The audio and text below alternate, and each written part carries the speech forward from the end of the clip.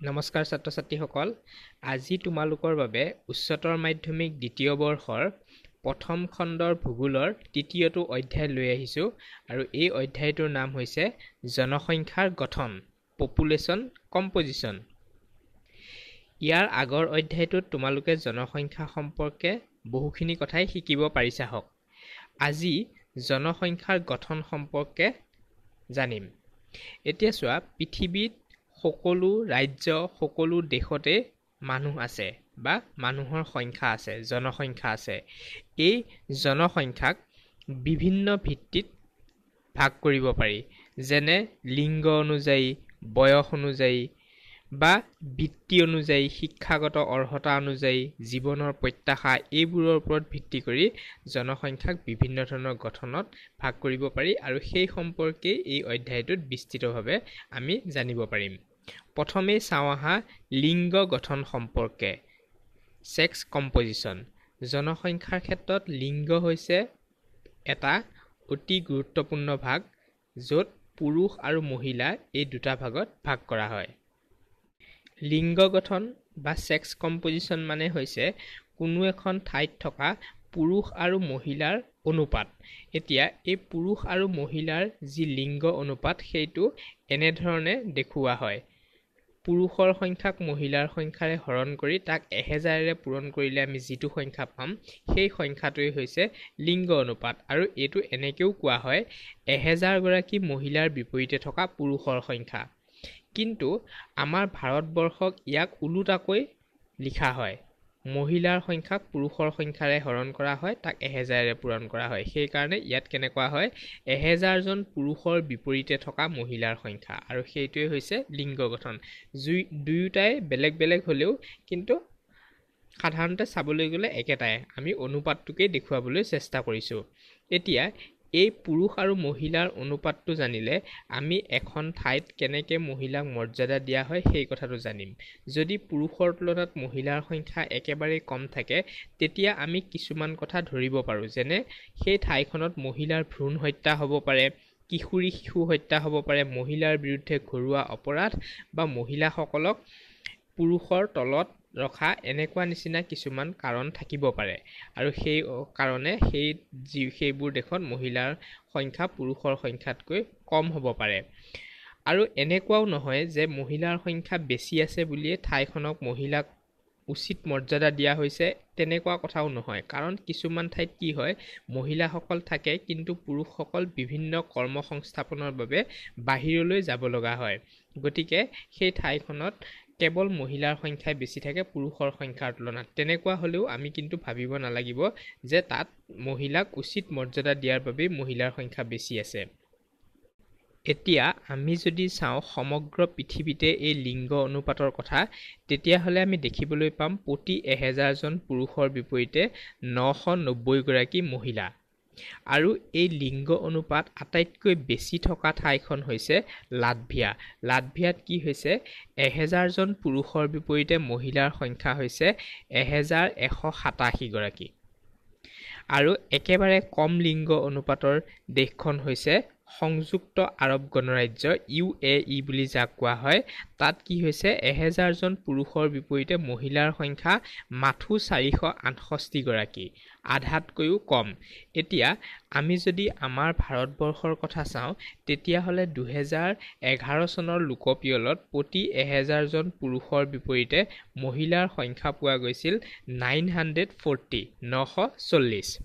এতিয়া আমি উন্নত ৰাষ্ট্ৰবোৰৰ কথা যদি চাওঁ তেতিয়াহ'লে এই লিংগ অনুপাতটো বৰ বেছি পাৰ্থক্য দেখা নাযায়। মানে পুৰুষৰ সংখ্যা আৰু মহিলাৰ সংখ্যা পাৰ্থক্যটো বৰ বেছি নাথাকে।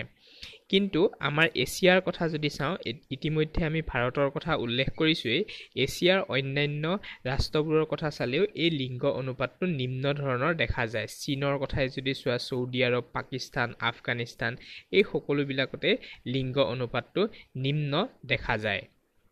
এইবাৰ চাওঁ আহা বয়সৰ সংৰচনা এইজ ষ্ট্ৰাকচাৰ মানেনো কি? আমি সমগ্ৰ পৃথিৱীৰ জনসংখ্যাক তিনিটা বয়সৰ ভাগত ভগাব পাৰোঁ। এটা হৈছে শূন্যৰ পৰা পোন্ধৰ বছৰৰ বয়সৰ জনসংখ্যা পোন্ধৰৰ পৰা ষাঠি বছৰ যিটো কিছুমানে ঊনাষাঠি বুলিও দিয়ে ঊনাষাঠি বছৰ আৰু ষাঠিৰ পৰা ওপৰৰ। এতিয়া এই জনসংখ্যাৰ তিনিটা যে ভাগ পালোঁ বয়সক লৈ এই তিনিটা ভাগে কি সূচাইছে? এখন ঠাইত যদি শূন্যৰ পৰা পোন্ধৰ বছৰৰ জনসংখ্যা বেছি পোৱা যায় তেনেহ'লে আমি জানিব লাগিব যে সেই ঠাইখন উচ্চ জন্মহাৰ হৈ আছে। আৰু জনসংখ্যাৰ বেছিভাগেই হৈছে তৰুণ জনসংখ্যা বা শিশু বা নাবালক এইখিনি আমি ধৰিব পাৰোঁ। আৰু এই জনসংখ্যাটো হৈছে ডিপেণ্ডেণ্ট বেলেগৰ ওপৰত নিৰ্ভৰশীল।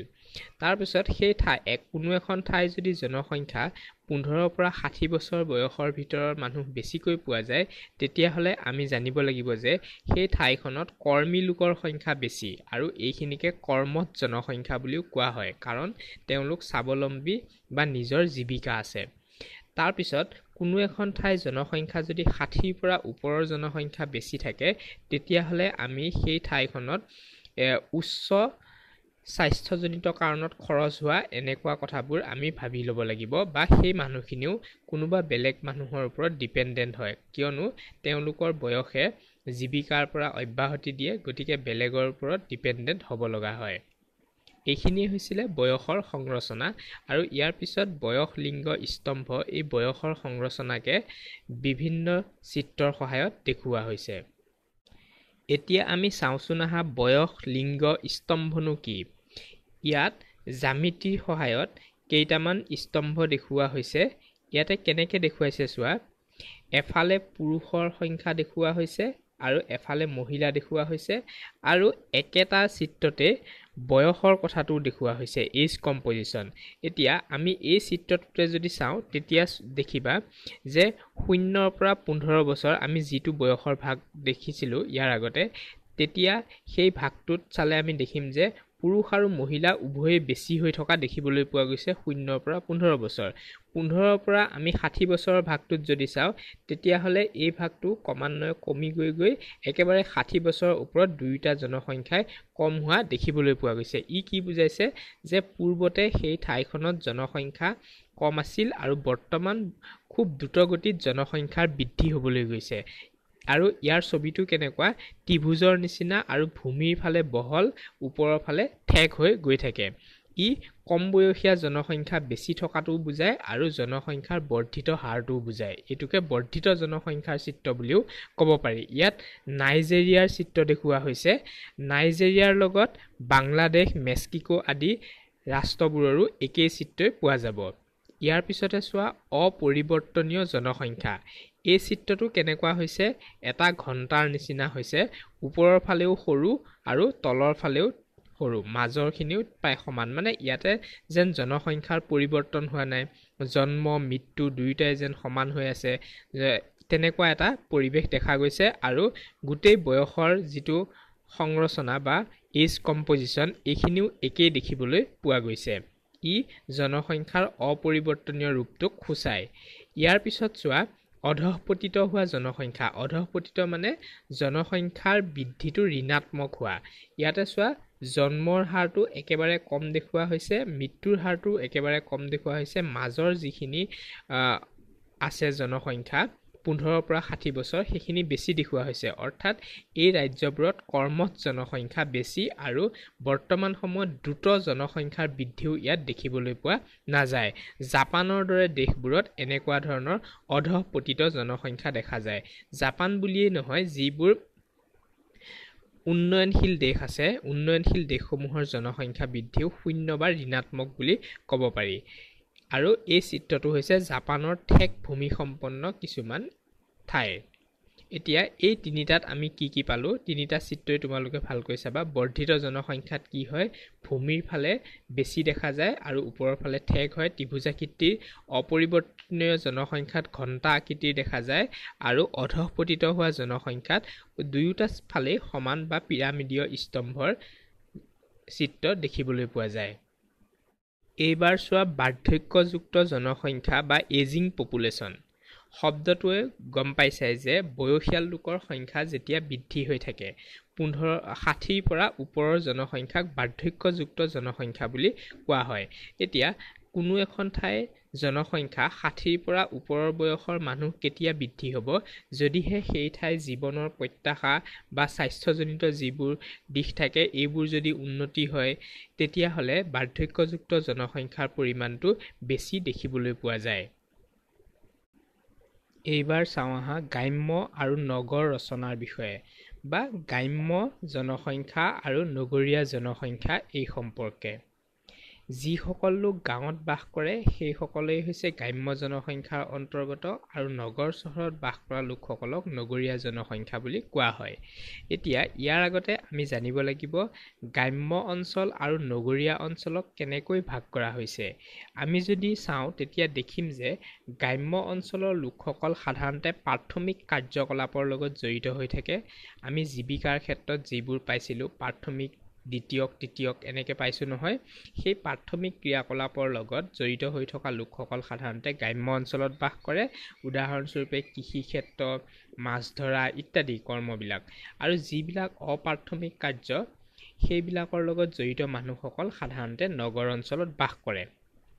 আৰু গ্ৰাম্য আৰু নগৰীয়া জনসংখ্যাৰ প্ৰভেদটো আমি ভালকৈ চালেই বয়স লিংগ বৃত্তিৰ গঠন জনসংখ্যাৰ ঘনত্ব এই কথাবোৰো আমি পাৰ্থক্য দেখিবলৈ পাম। গাঁও অঞ্চলত জনসংখ্যাৰ ঘনত্ব নগৰ অঞ্চলতকৈ কম এই কথাবোৰ আমি দেখিবলৈ পাম।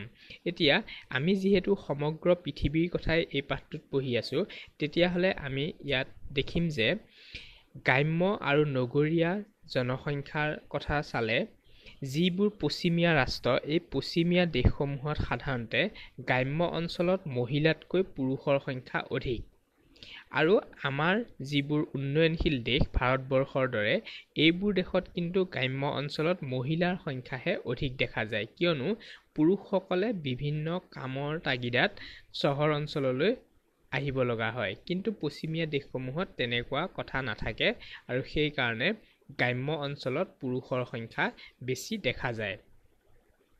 আৰু আমাৰ অঞ্চলত যি মহিলাৰ সংখ্যা গ্ৰাম্য অঞ্চলত বেছি দেখা যায় এইটোৱে এই কথাটো সূচায় যে কৃষি খণ্ডৰ দৰে যিবোৰ খণ্ড আছে প্ৰাথমিক খণ্ড এইবোৰত মহিলাৰ স্থান অধিক এই কথাটো বুজিব পৰা যায়। এইবাৰ চাওঁ আহা স্বাক্ষৰতা বা লিটাৰেচি সম্পৰ্কে। স্বাক্ষৰতা মানে হৈছে শিক্ষিত লোকৰ সংখ্যা। এতিয়া আমাৰ ভাৰতবৰ্ষত যদি স্বাক্ষৰতাৰ হাৰ উলিওৱা হয় তেতিয়াহ'লে প্ৰতি এশজন লোকৰ কিমানজন লোক শিক্ষিত এই কথাটো নিৰ্ধাৰণ কৰা হয়।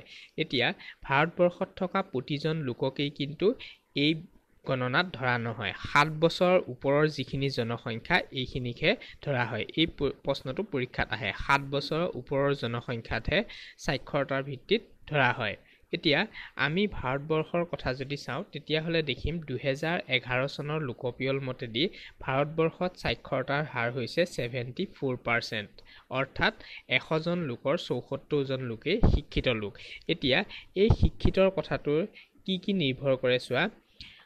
সমাজত মহিলাৰ স্থান তাৰপিছতে জীৱন ধাৰণৰ মানদণ্ড বিভিন্ন শিক্ষাগত সা সুবিধা বা চৰকাৰৰ নীতিসমূহ সুচাৰুৰূপে হৈছেনে নাই এই কথাবোৰ শিক্ষিত লোকৰ সংখ্যা যেতিয়া বেছি থাকিব তেতিয়াহে এই কথাবোৰ চোৱা চিতা কৰিব পৰা যায়। ইয়াৰ পৰা আমি বুজিব পাৰিলোঁ যে এখন দেশৰ শিক্ষিত লোকৰ সংখ্যাই দেশখনৰ উন্নতিত যথেষ্ট পৰিমাণৰ অৰিহণা যোগায়। এইবাৰ চোৱা বৃত্তিৰ গঠন অকুপেশ্যনেল ষ্ট্ৰাকচাৰ বৃত্তি মানে আমি বুজিব পাৰিছোঁ যে মানুহে জড়িত হৈ থকা উৎপাদনক্ষম যি কাৰ্য ব্যৱস্থা যাক জীৱিকা বুলিও কোৱা হয়। এতিয়া বিভিন্ন ধৰণৰ বৃত্তি আছে। কৃষি আছে বন বিভাগ মৎস্য উদ্যোগ নিৰ্মাণ কাৰ্য বাণিজ্য যাতায়ত ইত্যাদি এই সকলোবোৰকে বৃত্তি হিচাপে ধৰা হয়। এতিয়া এই বৃত্তিগত পাৰ্থক্যৰ ওপৰত নিৰ্ভৰ কৰি বৃত্তিৰ গঠন বা অকুপেশ্যনেল ষ্ট্ৰাকচাৰ এইটো দেখুওৱা হৈছে।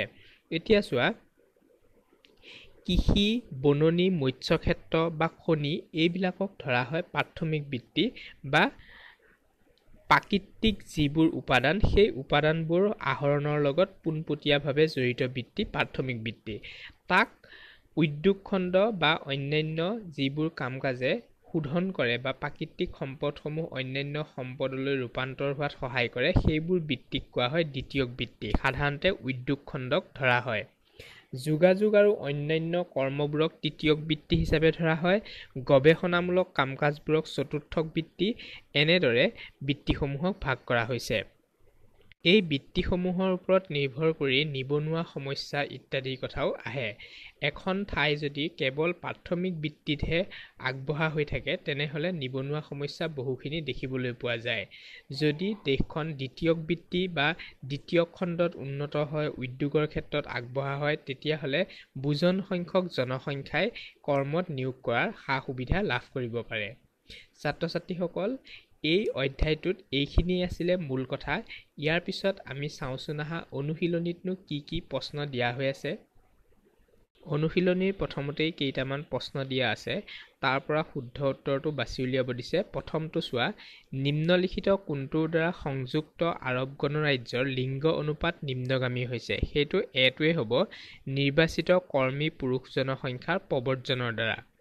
দ্বিতীয়তে চোৱা নিম্নলিখিত কোনটো ৰাশিয়ে জনসংখ্যাৰ কৰ্মী বয়সী দলক চিহ্নিত কৰিছে। পাঠটো বুজাওঁতে বাৰে বাৰে কৈছিলোঁৱে পোন্ধৰৰ পৰা ষাঠি বা ঊনাষাঠি বছৰ বয়সৰ যিখিনি মানুহ এই মানুহখিনিয়ে কৰ্মী জনসংখ্যা বুলি ধৰা হয়। নিম্নলিখিত কোনখন দেশত পৃথিৱীৰ ভিতৰত আটাইতকৈ বেছি লিংগ অনুপাত আছে। এইটো পাঠটোত আছিলে লাটভিয়া। ইয়াৰ পিছত কেইটামান প্ৰশ্ন দিয়া আছে। এই প্ৰশ্নৰ উত্তৰসমূহ তোমালোকে কৰিবলৈ চেষ্টা কৰিবা। ছাত্ৰ ছাত্ৰীসকল আজিৰ ভিডিঅ'টো ইমানতেই সামৰিছোঁ। যদি ভিডিঅ'টো চাই ভাল পাইছা তেনেহ'লে লগৰ বন্ধু বান্ধৱীৰ লগত শ্বেয়াৰ কৰিবা আৰু আমাৰ চেনেলটো ছাবস্ক্ৰাইব কৰি ৰাখিবা।